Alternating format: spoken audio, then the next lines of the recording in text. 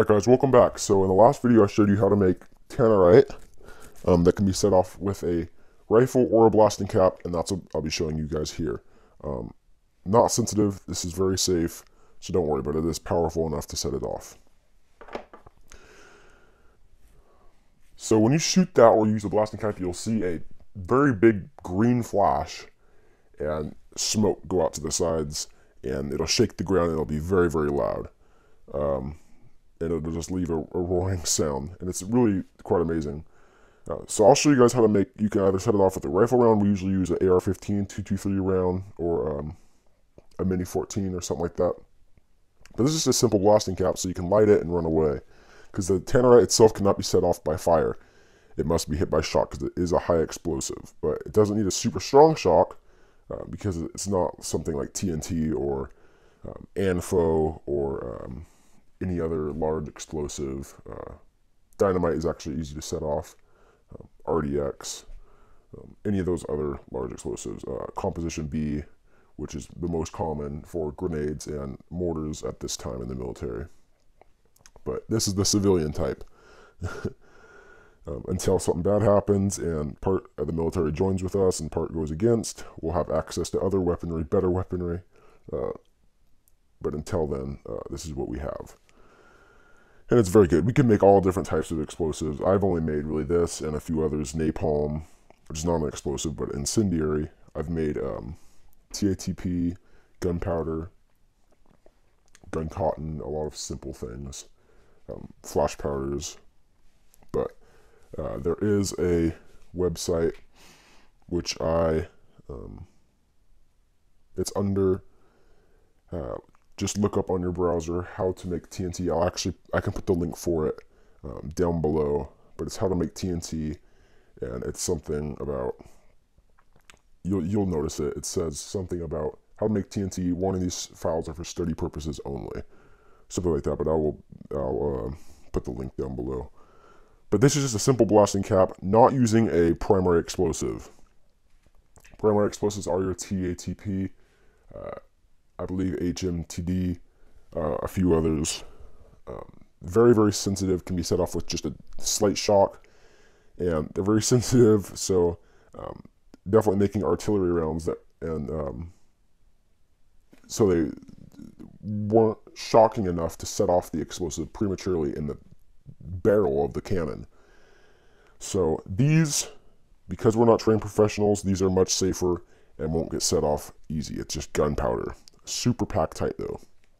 And you can use smoke, smokeless powder too if you pack it tight enough, which is the key here, but it is kind of frightening to do that. But here I'm using gunpowder. Like I said, you can use smokeless powder. Uh, it really depends on the size of fuse you use. This is a very, very big fuse. Uh, so I had to go with a larger bullet size. But if you're using very small fuse, you can go with, uh, I'd say the lowest you should go is a um, 762 at lowest at 223 556. Here I am using a 300 Win Mag, I believe, and it's very, it's quite large. If I put my, it's about almost the length of my finger, the first two joints. So it's very big, uh, and that's with, with it crimped very tightly.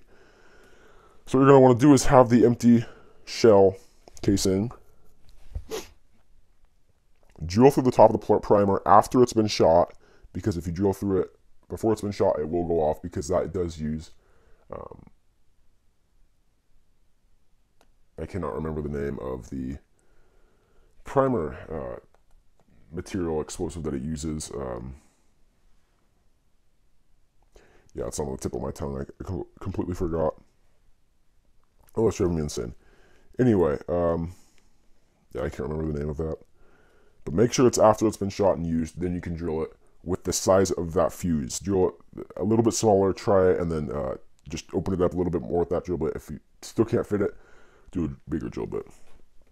Get that fuse in there. Make sure you leave. I did a little overkill here, but if you're making a grenade, um, make it smaller so that the distance you're throwing.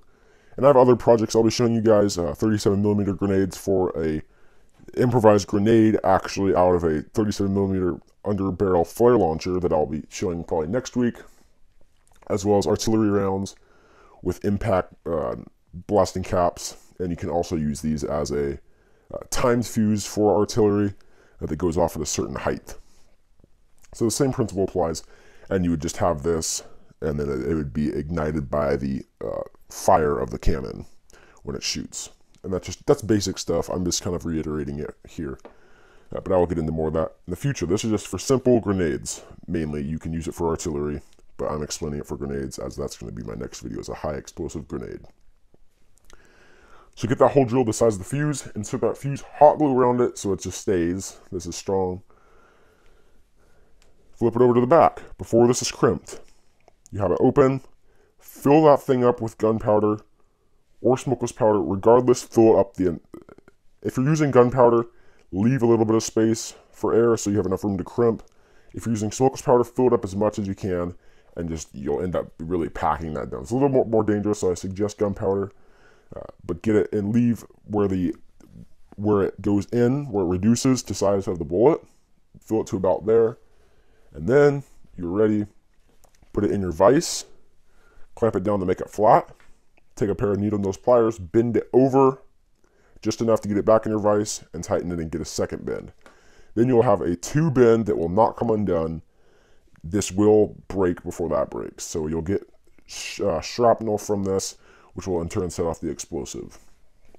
And that's it, a simple blasting cap that, that is strong enough to set off tannerite. Um, yeah, because a bullet is about the same velocity, um, so is this. So you'll get, I'll show you guys how to put it in the grenade. Um, either a pipe bomb or a uh, GM10 grenade or anything of that sort. But you'll have it in there and it'll light and make sure that um, tannerite or your explosive, tannerite in this case, because it's really the only thing that'll set it off. Um, nothing else this size will really get set off by something this weak. Um, make sure it's surrounded by the explosive and the shrapnel from that. The impact will set it off. So I'll see you guys in the next video.